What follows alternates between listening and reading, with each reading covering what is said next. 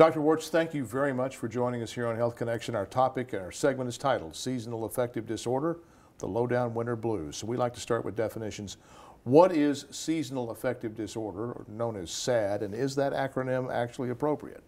It is appropriate. Seasonal affective disorder is characterized by sad mood, um, and it's, it's a seasonal mood that happens to a number of people as the seasons change. Um, and they have depressed mood. It happens as a part of major depressive disorder or bipolar disorder. Uh, and what we find is that uh, as the, the seasons change, these symptoms start creeping up on people that make them increasingly sad. What are we looking for? What are the signs and symptoms of this disease? Well, some of the signs and symptoms are those that are common to major depressive disorder, which are decreased concentration, irritability, or low mood, uh, lower self-esteem, a change in thought pattern there, where people think that the future is less bright than it was before. But also in seasonal affective disorder, you have an increased sense of lethargy, um, a leaden feeling that makes people feel very tired, they sleep more, and they feel really run down. Um, there's also an interesting trait that is common for this disorder, and that's a feeling of rejection by peers or family. So people get sensitive to feeling rejected by others. What's the seasonality? Why, what, what's the component of seasonality in this? The main component is light.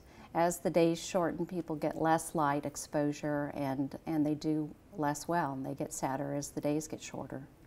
Um, interestingly, it happens about six or weeks or so after uh, the summer solstice. So you can start seeing symptoms at that time. Well, this may segue into the next question. What causes seasonal affective disorder? Well, it is exposure to light or the loss of light. Um, the exact causes are not known because some, obviously some people get it and other people don't. Um, we know that the further away that you live from the equator, the more likely it is that you will have this disorder. Because of the shortness of the days in the winter? Right, okay. right. And then also um, there's a family component like most mood disorders and uh, there's that.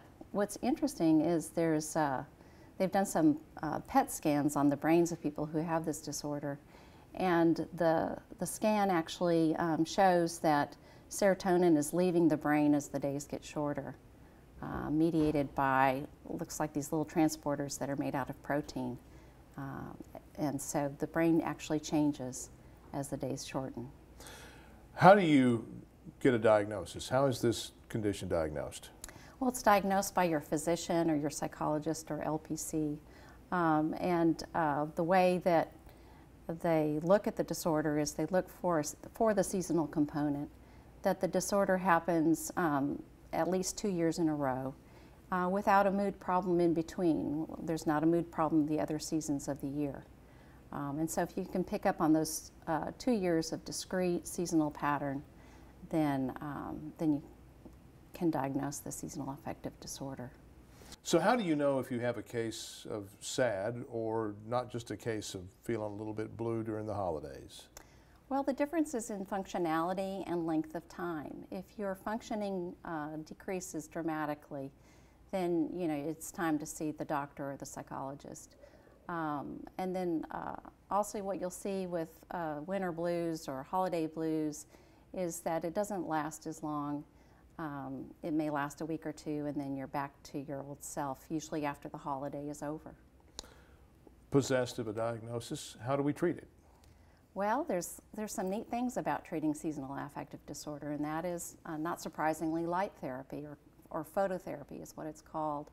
And there's two different types of uh, light therapies that you can do. One is a, a device that um, you set to go off uh, in, in the early morning hours, and it's like dawn rising, only dawn is rising earlier in your bedroom than it does outside.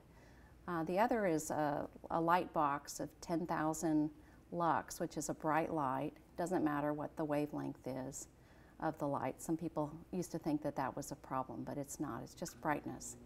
Um, and you, you sit under that for 15 minutes to two hours, depending on the, its effect on you. It clears it up sometimes within two days. It's very effective. There are other treatments too, like um, uh, antidepressant medication that you can get from your primary care physician. Um, with seasonal affective disorder, there's some indication that extended release Wellbutrin is the better medication for this disorder. And then, of course, there's things like what I do, which is talking therapy, psychotherapy, to help people deal with the change in their attitudes as well as their emotions. Is seasonal affective disorder just another form of depression, or is it somehow different? Well, it is different because it's linked specifically to the seasons, and um, you know, all depression has is linked to um, your biochemistry as well as the events around you.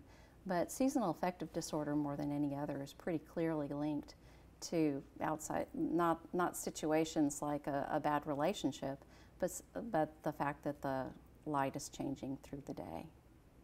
Interesting. Are some people at greater risk than others?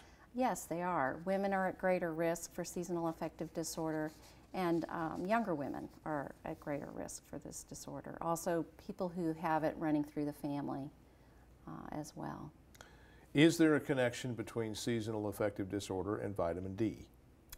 Um, there may be, that's not clear, um, there may be a greater link between seasonal affective disorder and melatonin. Um, vitamin D, as you know, is linked to our sun exposure as well. Um, but there are different patterns with vitamin D um, that don't line up with seasonal affective disorder. For example, uh, the metabolism of vitamin D decreases in women as they age. And so you would expect if it was seasonal affective disorder linked that uh, they would also have more of that disorder during uh, later years. And that's not the case. If an individual feels that he or she is suffering seasonal affective disorder or recognizes the symptoms in someone close to them, what should he or she do? Well, it, it never hurts to come see the physician. Your primary care physician is well equipped to help you with that disorder, as is a psychologist or licensed professional counselor. Very well. Doctor, very enlightening. Thank you very much for your time. Thank you. It's nice to be here.